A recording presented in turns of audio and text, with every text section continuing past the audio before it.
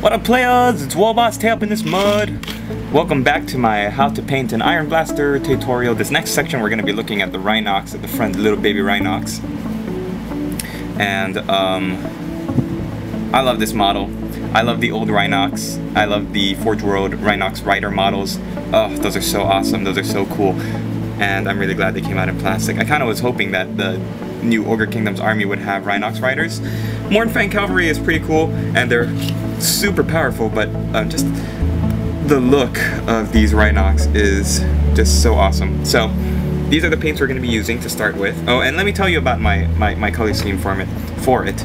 I was thinking about doing like a, a creamy, like uh, ivory kind of fur tone. Uh, but then I was thinking, okay, if the cannon is going to be like gold or brass and the carriage is very, very brown because of all the wood, and that's just the way it is, then um, we're gonna need some kind of color to offset that and going going into cream or like Dheneb Stone would kind of be too much. So I think the fur color is gonna stick close to what the Games Workshop is gonna be. Plus you've also got these um, these giant thunder tusk bracers on either side of the thing, the Rhinox, plugged into it, and these are going to be that creamy bone colored. So after thinking about all that, I just decided, okay, yeah, we'll just stick with Games Workshop. Daddy knows best. So we are, um, I, I primed it with my duplicate Duplicolor Sandable Primer. So this is actually already primered. It might look like the bare plastic right out of the kit, but it's actually primered and ready for painting. So what we're going to do is we're going to start with, we're actually not going to start with flat gray. Um, we're to start with Charadon Granite, which has a little bit of brown in it. So it's it's like Adeptus Battle Gray, but it's got a little bit of brown in it. And um, I used it for the stone. If you remember my how to paint uh, Iron Blaster, the first video, I used it to paint the um, the stone blocks at the front of the wagon. So now I'm gonna use it in much the same way and what we're doing is dry brushing it. So I dipped the Charadon Granite into the uh, dip my brush into the Charadon Granite and now I'm going to try to catch the the fur. We're gonna do the fur first and then the skin because of all the dry brushing that we're gonna need to do. It's just gonna be easier to um, go back and do the skin afterwards rather than painting like I usually would, which is from the bottom up or from the innermost sections outwards, just because there's a lot of breaks in the skin.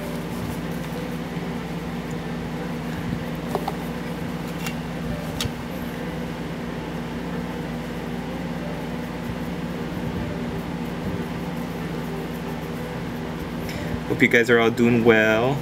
I plan to get a lot of videos out this week because uh, I'm on spring break, so I've got a week of really nothing nothing pressing to do in the daytime for any of my jobs. Uh, most things that need to be done I can do while waiting for these videos to upload. Things I'm prepping for school and for uh, for some of my some of my jobs at night. It's good having multiple jobs. The the only thing is that you know you end up not with not that much free time to do the things that you want to do anymore. Like Warhammer. So you can tell already just by just by looking that the Charadon Granite really livens up the tone of the, the fur. Gives it some great depth. And uh, the color is just really really good on it. It's that mid mid section between being a pure brown, something like Khemri brown or Calthan brown, and um,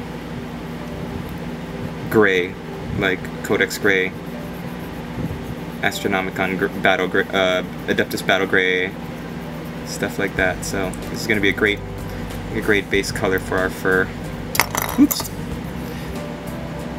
stay on your stay on your mount.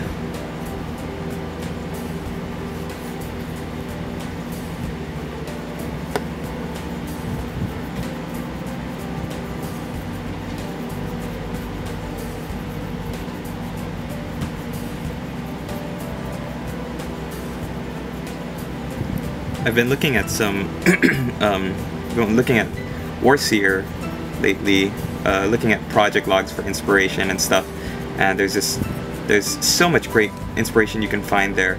I think before YouTube tutorials came out, before when you had to go just look at things, uh, picture, picture step-by-step guides, then websites like Dakka Dakka, Warseer.com, Cool Mini or not, those their their articles and tutor tutorials, copyrighted tutorials, were really really good at giving you the breakdown, the steps that you need to um, to do stuff, and being inspirational too. And I found a lot of great stuff. There's this one guy who um, painted his ogres to look like Bretonnians. and that guy's work is really awesome. Green stuffed out of capes and, and whatnot. Armor, cloth. Okay, so we're gonna let that dry for a little bit and move on with Calthan Brown, which is gonna be the straps of the, the guy's harness.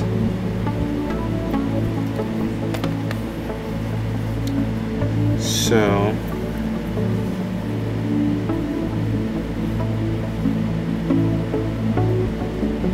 here, running down his back.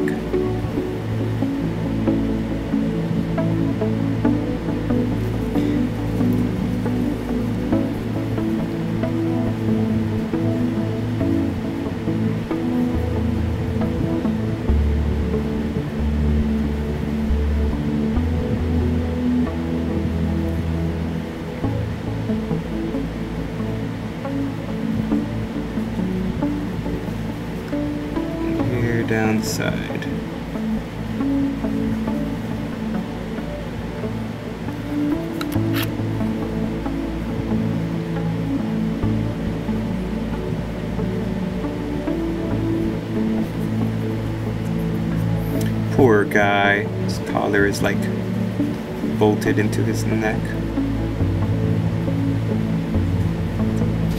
No wonder he has such a grumpy face. Okay, we're gonna let this dry and then we're gonna come back and uh, continue dry brushing and highlighting up the skin, uh, I mean the fur, as well as the harness, the brown leather harness. While we're waiting for that to dry, actually, why don't we go on and do something else? So, we'll, we'll paint the horns, Dheneb stone, as a base coat, and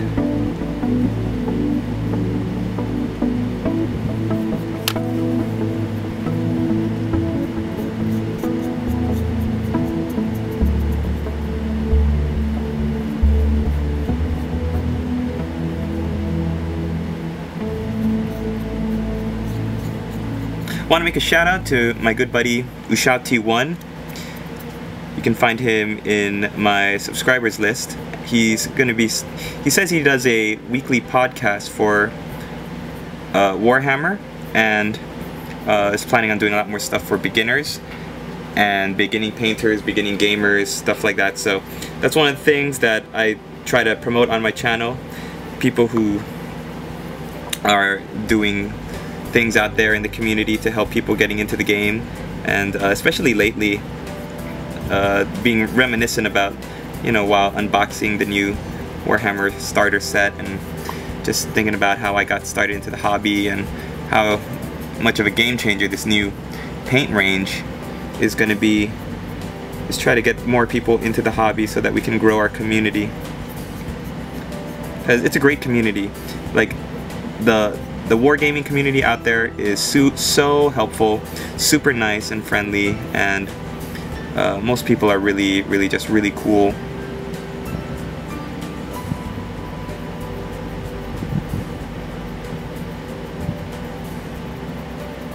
So, it's always cool to give back, you know what I mean?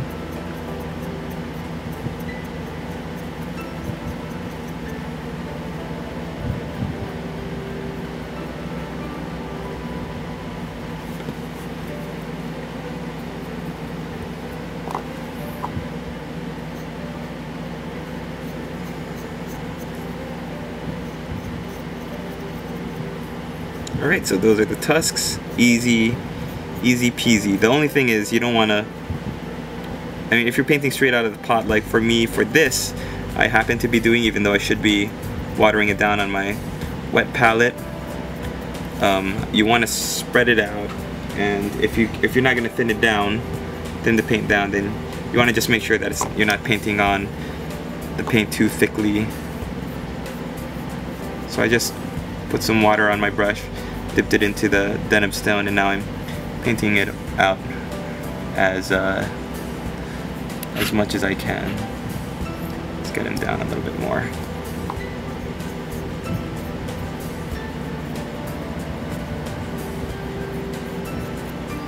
Okay. what we're gonna do next is we're gonna paint the teeth Dheneb stone as well.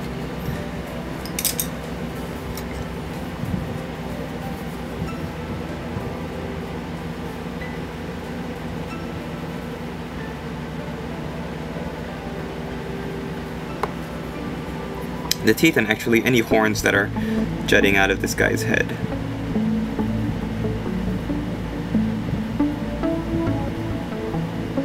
It's got weird, weird tusk-like growths on either side of his head.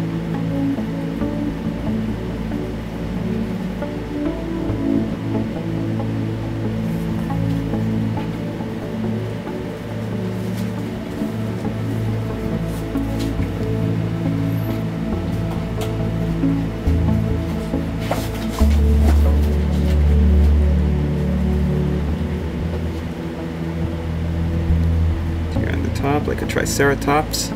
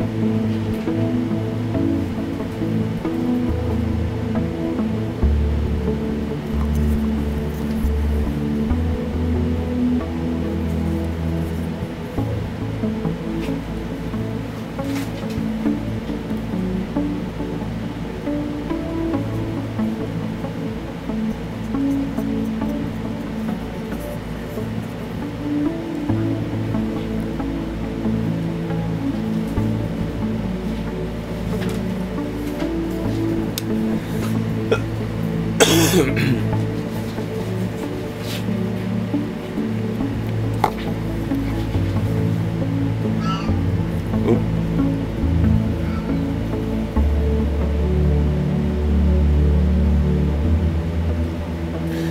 at you, little Rhinox. You're so cute, yes you are.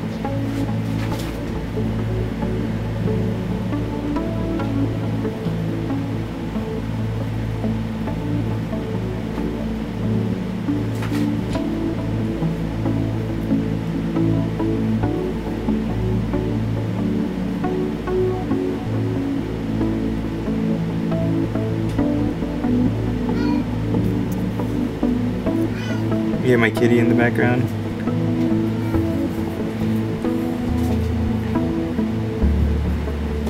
I close the door because uh, the air conditioning is on and he wants to go outside now.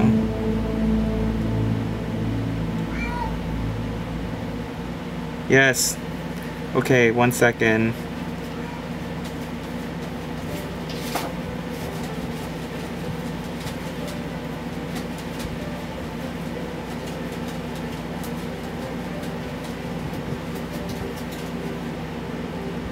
Igor. Yes, master. Are you busy? No, just text messaging my high elf girlfriend. You, um, let the cat out, please. What was that, master? Cook up the cat. Cook the cat up. No. Open the door and let the cat out. Well, I suppose.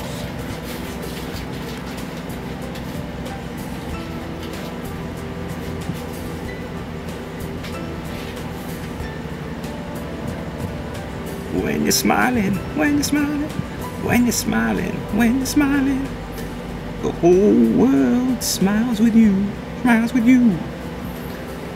Ta-da! Alright, let's come back in a second to do the uh, chains. Okay, so as you can see, I also painted in this guy's toenails. I did them off camera so I could get them off of the uh, little cork peg. So what we're going to do now is we are going to paint the silver onto the belts, the chains, and all of that. We're going to use bolt gun metal. And after we're done with this, we're going to get onto the uh, skin that shows up underneath the fur. and looking at the box art, it's pretty much the same color as the fur, so what I think I might do is actually give it a different um, a different color just for fun. So starting with the silver though, you have you have the silver plates around the guy's collar here.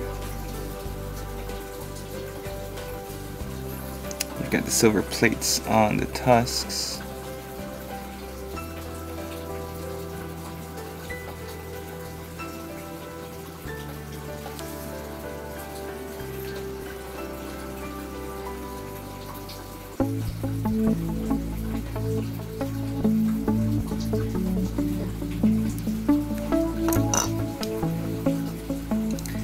One on each tusk.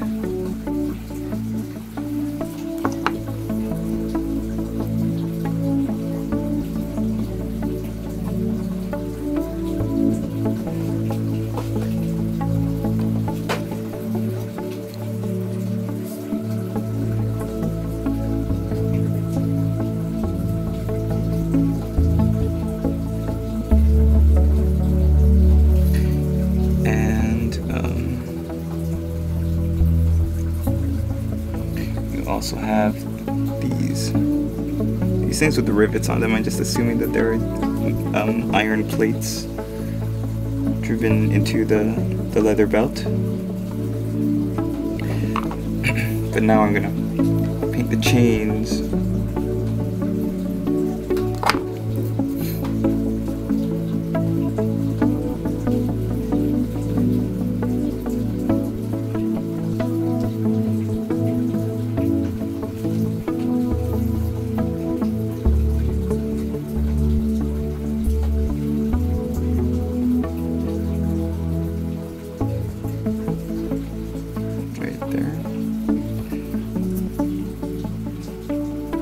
Especially, like I said before, you want to get it from the top because that's the angle that people are usually going to see your models from,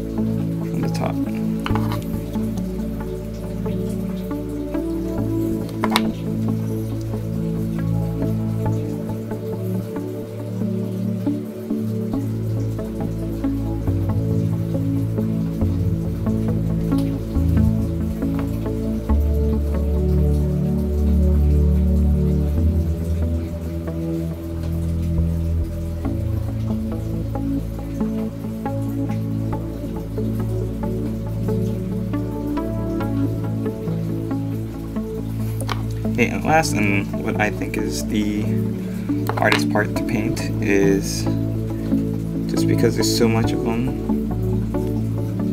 is going to be the spikes that are studded into the guy's collar.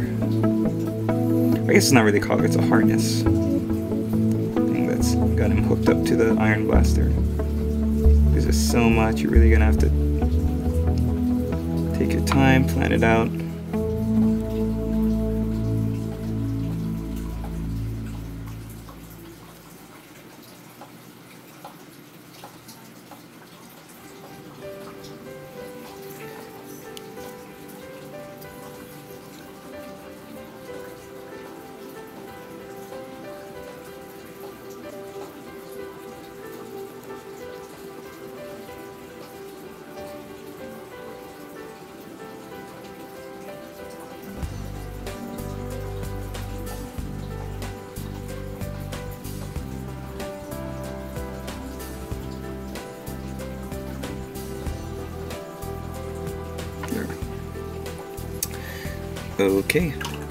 Last thing we're gonna do is we're gonna base the uh, Chaos Star and the guy's snout in Calthan Brown for now. Because we're gonna eventually be painting that gold, little flash of bling, but for now, we're just gonna base coat it.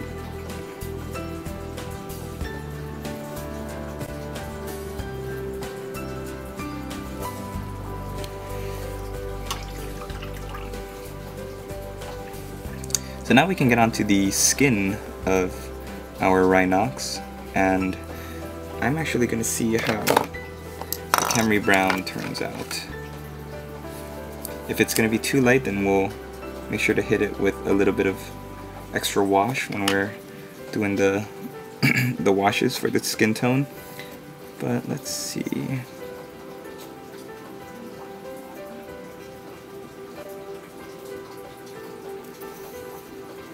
Yeah, that looks okay.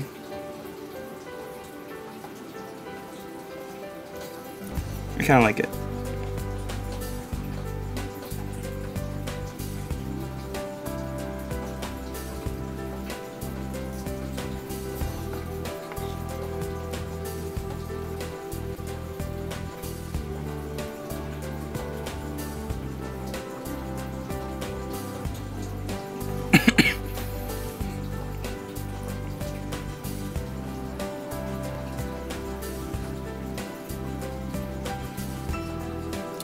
So just paint his skin all over Khemri Brown.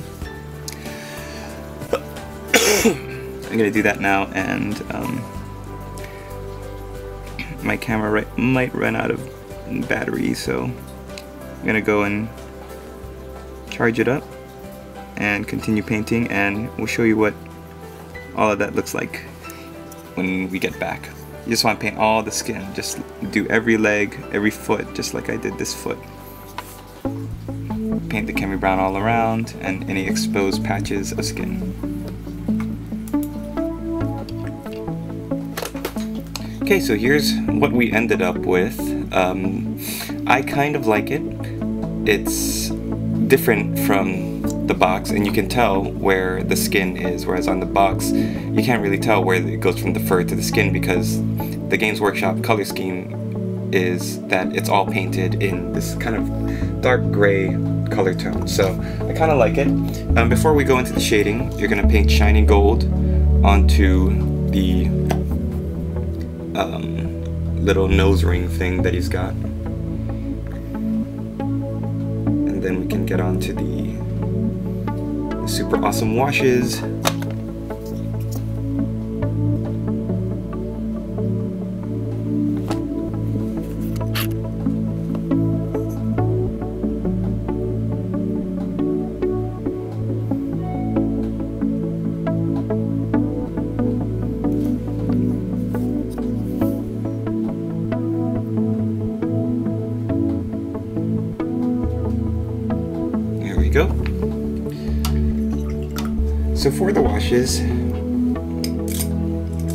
It's only going to be really one. This is the last step of this of uh, this part of the tutorial, and oh, man, I just love the different the browns and the different uh, the metal and the Charadon granite. I think it looks great. So we're going to use Badab Black. We're just going to cover the whole model in it. So this is where you want to use the mount. And actually you don't want to, you, you want to try not to cover the, um, the tusks at the front, but everywhere else is fair game. Especially to give the leather the, the dark, um, dark leather look.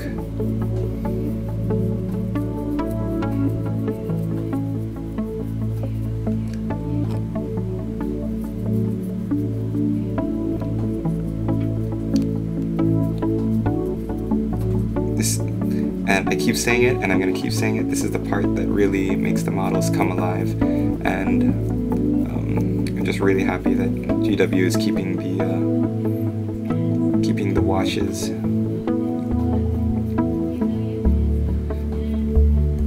we are gonna paint the other horns the smaller horns with the Badab black. That's fine. The reason we don't want to paint the tusks, the, the big tusks with them, try not to, is because we're gonna try to do a gradual fade from brown to, to white. And the, um, the tusks at the front, I'm gonna try not to get the bad black on it.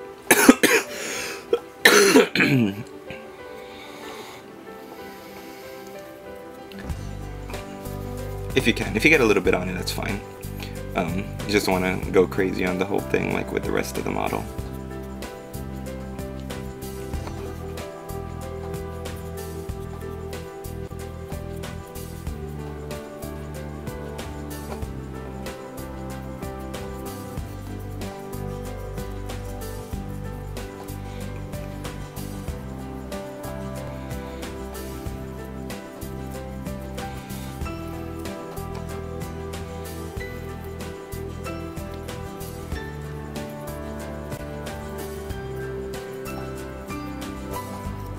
And with the teeth, we could see when you use Badab Black on the teeth, you can tell the difference between where the where each tooth ends and the next one begins. So that's really cool with using Badab Black. If you use just Devlin Mud, then it's not gonna have as clean of a break between each tooth.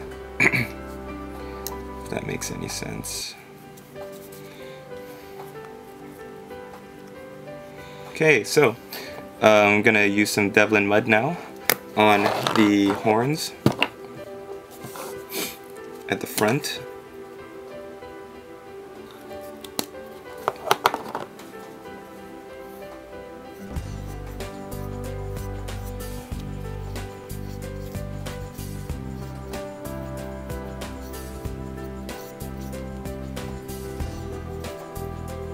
You're also getting it, of course, on the um, metal plates there as well. If you think this is a little too dark, you don't want to go this dark, then just use Gryphonne Sepia instead. Then it'll match kind of the, the tusk on the um, on the wagon. But I think this is going to work fine.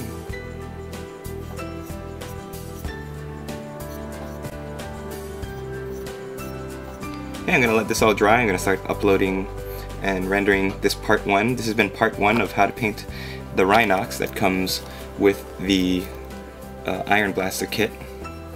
And this is how he looks once the washes are on. We're gonna let them dry. Try not to let anything pool like this. Spread it out so it doesn't pool. Especially on the flat surfaces like the tusk. Okay, and then I'll let it dry and then once it's dry we'll come back with part two with the highlighting details like the eyes, doing all that stuff. And then we can move on to the giant honking cannon. Thought I thought I'd start this next part of the tutorial with something fun though, and um, do the Rhinox. okay, see you guys in the next one.